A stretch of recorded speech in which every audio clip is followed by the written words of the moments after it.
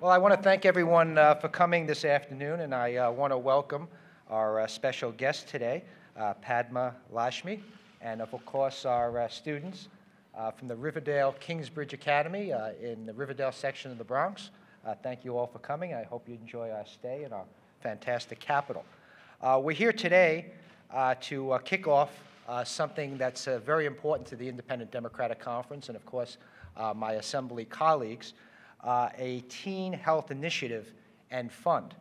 Uh, I'm honored to uh, be joined today, as I said, by uh, Padma Lakshmi, uh, who many of you may know is an accomplished actress, model, and food expert, and the host of the Emmy Award-winning show on the Bravo Network, uh, Top Chef.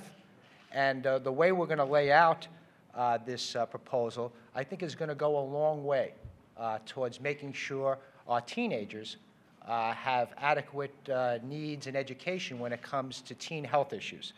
Uh, the initiative is really broken up into three parts.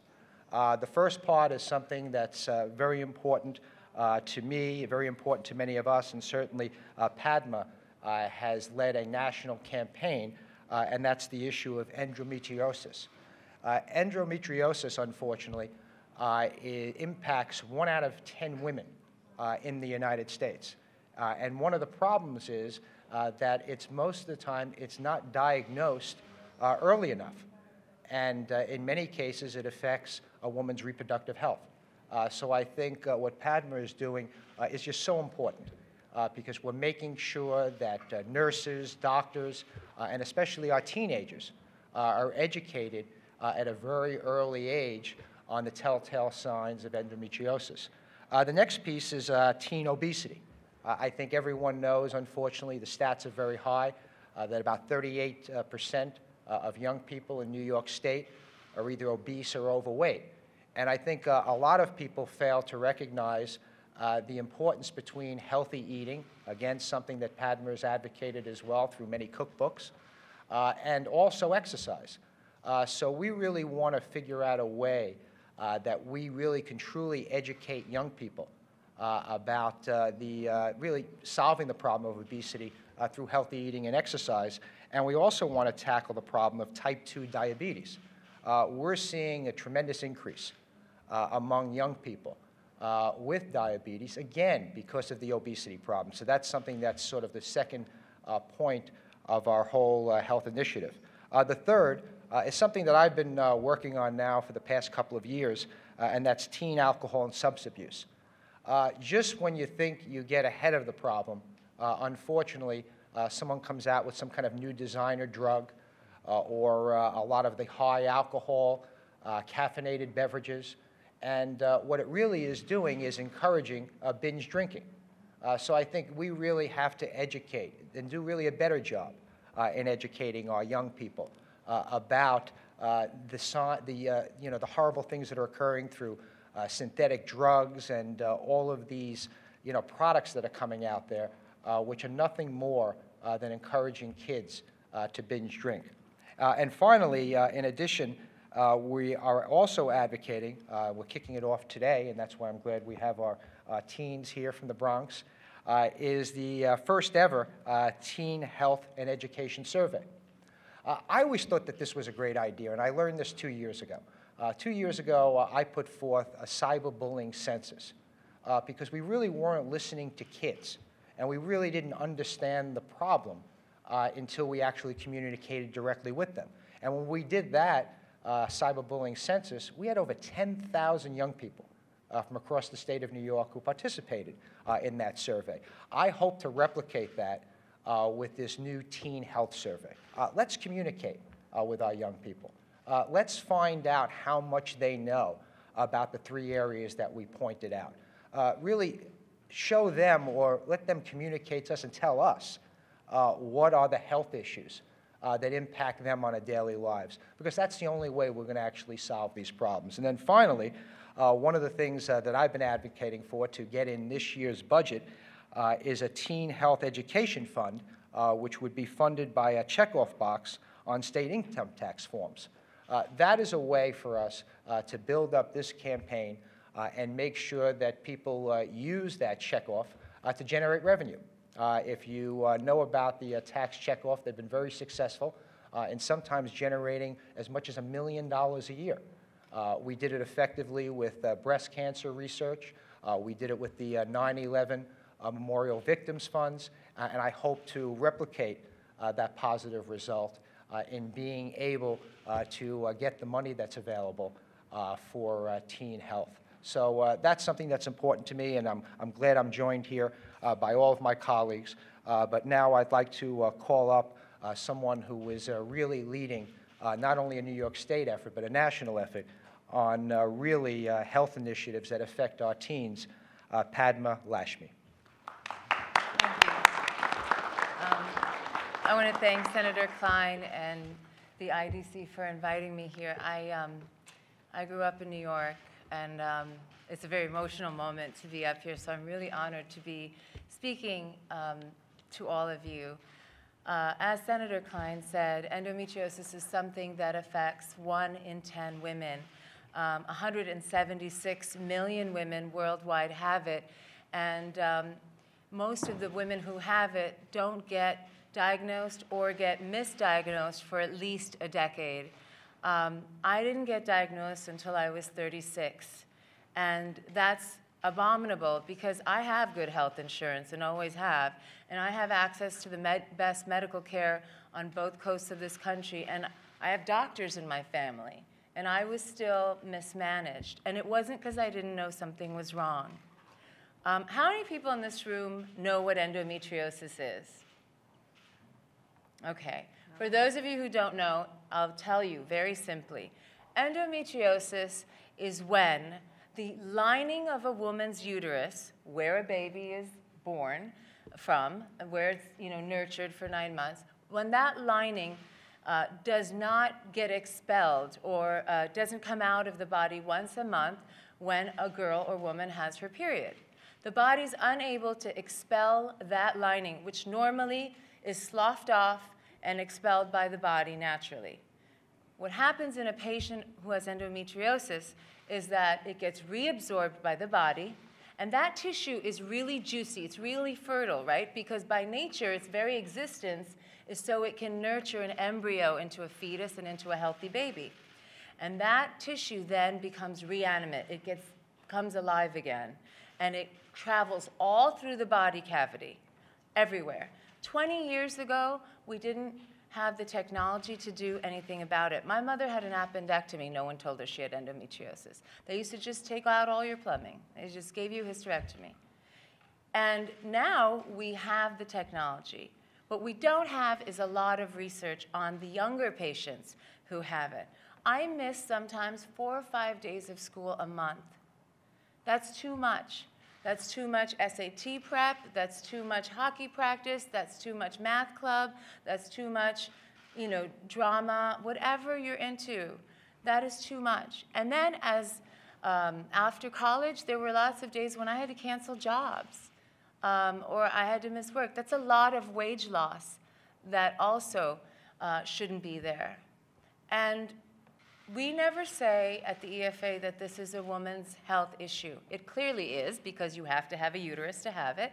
We say that it's a family issue because I can talk to you and so can my co-founder about the physical ramifications about this disease. But I can also tell you as a patient that there are very serious emotional components to this disease. A woman should be allowed to savor her life or a young girl should be allowed to prepare for her future without the shackle of chronic pain, especially when we have treatment. And I believe that finding this out in a young woman's life will change the course of her life critically.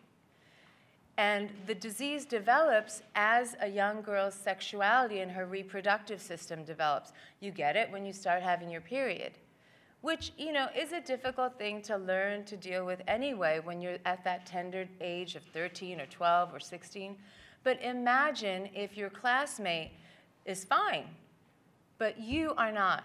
Imagine if your college roommate just pops two Advil and hops off to hockey practice, and you're taking Vicodin, you're on a heating pad, you can't think straight, it, it messes with your hormones, And I think that both male and female adolescents should just know about this as part and parcel of their whole education. And so that even if it's a young man and he sees his older sister or his mother or a teacher suffering from it, that he can say, hey, you know, maybe you don't know about this, but I learned about this in school. Maybe you have it. You know, maybe we can look and find you a specialist. Wouldn't that be amazing? Then we can empower the men in our lives who love us to also be, you know, crow crusaders in all of our well being. And we engage the whole society in bettering each other's lives. And we become better as a whole. And that's why I love what Senator Klein and his colleagues are doing because they look at a student holistically. And they're saying, yes, we have to educate and raise the academic levels of our youth. But if they're not healthy, then they're not able to learn in whatever way that is. And the argument about where that should be done is kind of irrelevant. It needs to be done. And so we owe it to the young people in our lives, in our city, in our state, to help them with issues that are affecting them on a day to day basis. Thank you.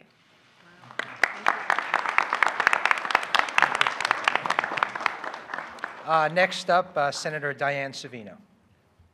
Thank you, Senator Klein, and thank you, Padma, for that, um, sharing your own personal story.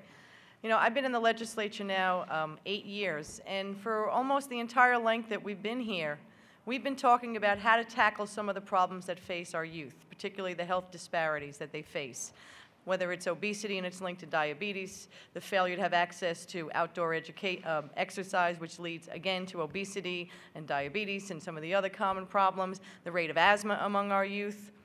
There's so many problems that we know that young people today face that we didn't face when we were young. And so we're always trying to find a way to do some outreach, to do some education, and to kind of change that outcome for the young people. But I look around at the young children that are here today, and particularly for the girls, they're about to enter that age, that mystifying time in the life of a young woman or an adolescent, where her body begins to kind of go to war with you. You go through all these changes. You know, some of them Padma talked about. It's a frightening period. It's exhilarating. You're not a baby anymore, but you're not a grown up. But mostly, you're embarrassed. Right. Think of the women in the room. Remember that horrible time when we were 13? You're embarrassed by the things that are happening to you, and even if you have a great relationship with your mother or your grandmother or an older sister, you're embarrassed sometimes just to ask simple questions like, What's happening to me?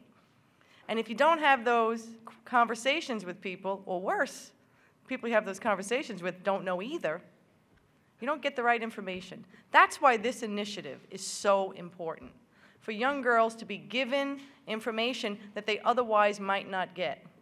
As Padma said, she belonged to a family of doctors in some respect, people who are highly educated. But unless you've experienced it, you don't quite understand the impact of endometriosis. Luckily, I don't have it. But I've had friends I've seen suffer terribly with it. And I can remember when they were 16 and 15, the same thing would happen to them. They'd have to take a few days off from school. They appeared to be in so much pain, and the rest of us kind of just dealt with, you know, our monthly friend is what they used to call us. I never considered her a friend. But every girl goes through something different. And if you don't have the information and no one gives you the assistance or the guidance, you could suffer for years. Most young women don't have their first gynecological visit with a doctor until they're sexually active. So years could go by before they even get an internal exam, before they even have the opportunity to talk to a doctor. But even when they go to the doctor, most of the time, they're too embarrassed to ask the doctor. They don't want to, they don't, or they don't know what to ask the doctor. So we're going to help provide that information through this teen initiative. We're going to find ways to give information to young women so that they can avoid waiting until they're 36, suffering years. We can eliminate that. We've taken a lot of steps in this state over the years, trying to do outreach on breast cancer, a few years ago, we took a bold step going forward, expanding access to the HPV vaccine for young women so we can eradicate cervical cancer in our lifetime.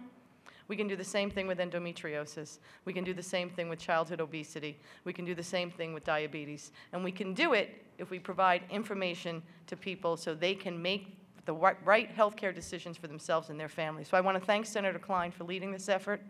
I want to thank Padma for telling her personal story. I see my colleagues from the Assembly, other members of the IDC. This is critically important. And most importantly, people from the media, you're here. You can help tell Padma's story and talk about what young girls face as they make that transition from adolescence to young womanhood. It's a terrifying time for many of us, but we can help make it less scary by doing what we're doing here today. Thank you. Uh, Next, I'd like to introduce uh, Senator Malcolm Smith. Never been a girl. No, I haven't, But Diane. That's right. Uh, Thank you very much, uh, Senator Klein, again, and thank you for uh, your bold leadership, willing to take on issues that are important to uh, the people throughout the state. Uh, Padma, uh, your uh, personal story was very touching. Um, And it was touching for me. I have five sisters in addition to daughters. And, and I've witnessed uh, uh, young ladies going through uh, that moment and, and that sickness, and my sisters who could not go to class that day, and how at that time I did not realize what they were going through. Um, but obviously, over time, uh, I've learned to understand what endometriosis uh, does to you and how it impacts you, and it impacts your whole family. I can tell you what my sisters were going through their, their crisis moment, um, as they called it. Uh, it was very trying on the entire family. So, Padma, I appreciate uh, your sharing your thoughts, and I really appreciate Senator Klein for this Healthy Teens initiative because it touches personally uh, to my family. Uh, with regard to uh, the obesity and diabetes and the survey, the Bible says very clearly that the young will lead. Uh, the young will lead only if uh, we, as elected officials and public leaders, keep them healthy. Uh, the importance of these young people here today, I hope, underscores how significant they are to what government leaders need to be doing. Not only do we need to try to keep them on the straight and narrow with support as they get educated, but we need to help give them guidance. Uh, some of the guidance that I think we got when we were younger. So this initiative today, uh, which I do believe is going to have an impact, as you many of you know, you've got young people that go on these drinking binges and eating binges, and it's just something that we've got to tackle. So uh, I'm proud to stand here with my colleagues with the IDC, also from the Assembly, Senator Crespo in particular, uh, for all your leadership on this as well. And uh, we need to move this forward. Padma, um, I can't tell you how much I love you and appreciate all that you've done for us on a national level. And Senator Klein, as a personal friend, uh, you just continue to wow me in the things that you do, and I really appreciate your leadership. Thank you. Uh, Next up, uh, Senator David Carlucci. Thank you, Senator Klein, and uh, I want to echo what my colleagues have said today and thank Padma for your effort, for your leadership, for lending uh, your name, credibility, and celebrity uh, to this important cause. And like was talked about, uh, this is really, this Teen Health Education Fund, uh, this is an investment in our future. Uh, right now, I have the distinct honor and privilege to serve as chairman of the Mental Health Committee in the Senate, and right now we're facing some real challenging times. Uh, we've just been hit with a $500 million cut to Medicaid and people with developmental disabilities. And we're going to have to find ways to reduce costs in Medicaid. There's no question about it. But if we don't educate our teens, if we don't educate our children and future generations about these important issues and about important decisions that can be made, then we're, we're really failing. And we can do that by investing today, uh, by something as simple as a checkoff box on your tax return that we fought for to put in this budget. And we're thankful that Padma's here, uh, that our colleagues in the Assembly are joining us today to make sure that that ends up in this final budget. And by doing that, when these teens are in our position wearing these suits, and, uh, or, or whatever, whatever type of, whatever they're going to wear in 10 years from now, there we go. Chef jackets.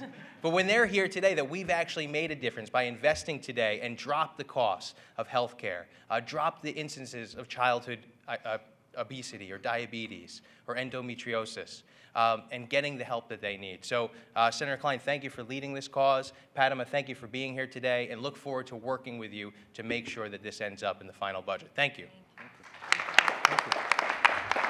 I'm uh, very proud that we're joined today uh, by uh, three of my Assembly colleagues. Uh, First up, I'd like to call up uh, Marcos Crespo. Uh, He's an Assemblyman who I'm proud to represent areas in the uh, Soundview Castle Hill community. Uh, Thanks for coming. Thank you, Senator. First, let me Let me thank you for your efforts. We worked well together with the cyberbullying initiative, and that really demonstrated that these efforts can't be done in a vacuum from Albany in terms of addressing what's happening on the ground with our youth. And, uh, and, and now we're taking that initiative further with this uh, health awareness campaign. Uh, to the IDC members, to Padma, since we're all personalizing this, I have a two-month-old baby girl at home, and now I know what to look for. Uh, you asked how many of us were aware. I, I didn't raise my hand because I honestly did not know, and now I know. And that's what this is about. And furthermore, you know, this initiative encompasses a lot more than just one uh, uh, health uh, crisis. It's about a holistic view of issues that affect uh, teenagers and young people. We're talking about obesity. We're talking about diabetes. We're talking about substance abuse. Um, it's unfortunate that in, in this uh, climate, economic climate, we're looking at uh, certain revenue raisers that, that present problematic situations and the impact that they can have. But what it comes down to is that we can't just look at the easy way out and say we're going to disavow, we're gonna, we're gonna negate your options to choose this or that. What we wanna do is educate people and say why you should choose one thing over the other. Why should you choose to eat better? Why should you choose to exercise? And we have to look at this from a very holistic point of view, and we can learn uh, so much from our youth. We saw that with the cyberbullying initiative, and we're seeing that with healthcare, especially in today's diverse communities. You look at the growth of the Latino community throughout uh, the country. It is said, according to statistics, that one out of every two Latino children born after the year 2000 will suffer from type 2 diabetes. 50%. That is an unconscionable number that we must address, and that's what this initiative is about. And so I'm very proud to stand with you in joining this effort to make sure that we address this and provide them an opportunity to educate us on what we need to do. Thank you, Senator. Uh, Next up, uh, another Assembly member from the Bronx who uh, we share uh, several communities with, Assemblymember Luis Sepulveda. Good afternoon. Uh, First, uh, Senator Klein, I want to thank you for the great work you're doing, uh, especially with this initiative, Padma. Thank you so much. You know, I, if we're going to continue to personalize, I grew up with four sisters, and I can tell you they would have benefited years ago if we had this information. And a lot of the times, it's just simple information that you provide to individuals. And to provide the resources for this uh, checkoff um, is a fantastic way of raising revenue in the time that we have these economic crises. So this is going to go a long way to help in our community. I only hope that the, the information is also provided in Spanish and other languages because, you know, we represent, uh, Senator, uh, Assemblyman Crespo and I uh, represent uh, one of the poorest districts in the entire state. And uh, unfortunately, there is a correlation between poverty and obesity and diabetes. And a lot of that has to do with the fact that the children that we represent, uh, sometimes their family don't have the, the monies, don't take home a paycheck to be able to provide adequate food, adequate sustenance for the children that we represent. And so to take this initiative to teach our children, uh, we have to provide the funding, we have to make things easier for these families.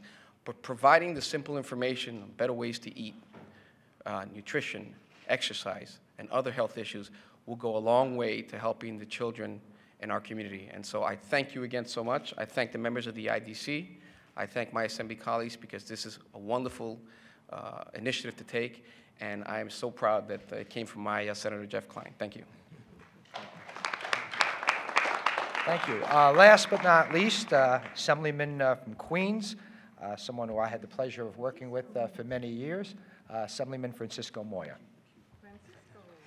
Thank you very much, Senator. Uh, I want to applaud Senator Klein for once again really uh, tackling the issues that affect uh, teenagers throughout the state of New York. Uh, again, also to Padma for uh, her leadership on this issue, uh, and my colleague, Assemblymember Crespo, for what he, they've been doing to educate the teens that really don't have access to information. And in communities of color, we see this a lot, where childhood obesity is on the rise. Uh, in Corona, Queens, last year they did a report that I had the highest rate in the city of childhood obesity. It's a lack of access, it's a lack of education. And for us, I think that putting programs like this together are so important for the future of the state of New York and the children that we represent as well. Uh, and if it wasn't for the leadership that you see up here, we would not be doing this. And I think that they need the uh, support uh, that they have gotten and that they need to continue to receive that from uh, state government. So I just wanted to say thank you again to Senator Klein for your leadership uh, and your vision uh, for what you're doing for all these uh, wonderful uh, teenagers here in the state of New York. Thank you. Thank you all very much, and again, I want to thank the Riverdale Kingsbridge Academy for making the trip up here again. Thank you so, so much. Let's give them a hand, everyone. And we'd be happy to answer any questions. Ms. Lakshmi, one of the most controversial uh, proposals to address nutrition in recent years has been uh, the ban on large soda drinks. You know, in, in this building, we've discussed the soda tax in recent years. Where do you come down on those efforts to kind of reduce either the size or the volume of the amount of sugary drinks? that we I I'm not here to speak as a professional dietitian, but I will say that those drinks are banned in my home too, so I'm pretty much on that side of the argument. Um, You know, I think you also have to give all citizens a healthier alternative. We're bombarded with a lot of marketing, and we've also forgotten how to eat properly. Um, you know, we've forgotten that with pennies you can make lemonade, and you can do other things. You know, kids used to have lemonade stands; they don't have those anymore.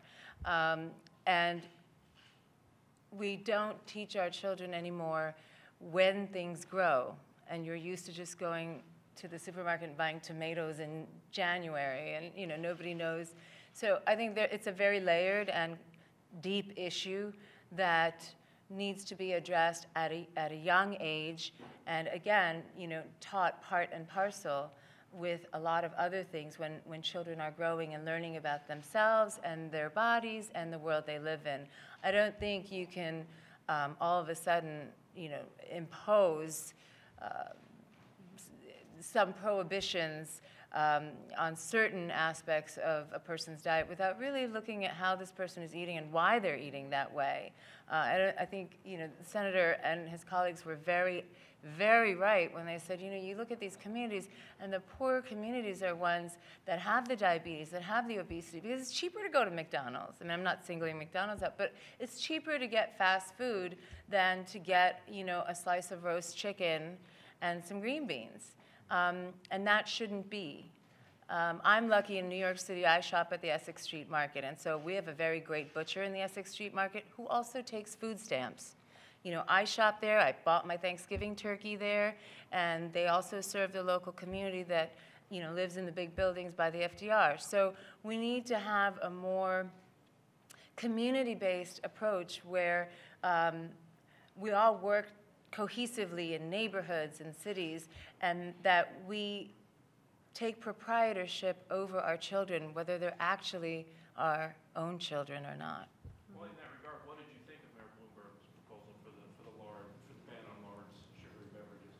Um, you know, I support it, but I don't know that it's going to prevent someone from buying two cups and then therefore increasing the paper waste, to be honest. But, I mean, I, you know, I don't know why you need 32 ounces of a, I can't even get my hand around that. Um, you know, I, and there have been times when I've gone to the movie theater and stuff. I mean, you all have too, and they're like, you know, with a dollar more, you can get a large popcorn and you can get a lot. And I don't need a large popcorn because I know I'll eat it if it's sitting in front of me. I'd rather pay you an extra dollar to just give me the small one. You know, I, no, honestly, like we've just gotten in this system, this mentality of big is better and more value. You know, you, is it really valuable to eat shrimp and steak and a, you know, all you can eat salad bar with Russian dressing that you might as well have a hamburger for? You know, that's not salad. You know, that's like dip. Um, so, I mean, you can have a little bit of it as long as you go out and you play basketball for half an hour. You know, a diet is just like managing your checkbook. It's basic arithmetic. So if you eat 2,000 calories, you should expend 2,000 calories. And I think we have to support our children in finding fun ways to have them exercise. And whenever young mothers or journalists or mo- mommy bloggers always come to me and they say, you know, I'm having trouble finding, you know, uh, making my child eat well. And then my first question is, how do you eat? Because that's a big thing. You know, you can't say, well, you can't have a sugary drink, but mommy's going to have a Diet Coke. You just, it doesn't work. Do you follow uh, Sandra Lee's show, and what do you think? No, she's on another network.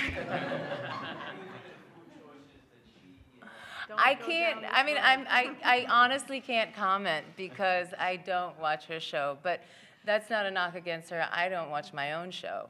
Of course, I know what happens on my show, but, um, I- you know, I, I can't comment on another person's show. Senator,